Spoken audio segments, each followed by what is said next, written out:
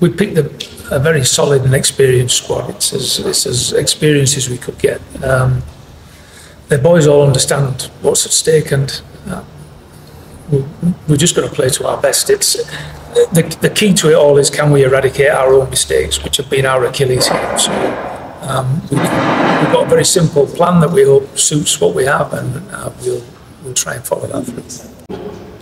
Um, I think throughout the season we've uh, had some plays. We've had uh, some this, uh, sometimes where we need uh, to get a bit of luck just to get our, our results in. Um, and, and, such is the nature of sport at times.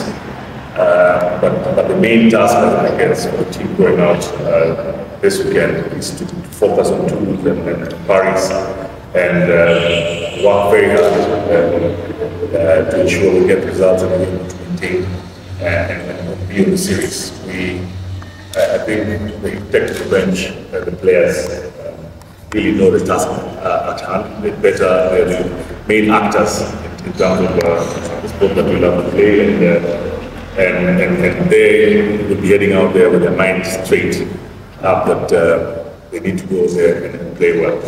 Um, so from our side, it's just to offer the support, offer the encouragement, uh, push them over this barrier. It's, it's, uh, it's, it's, it's enormous task.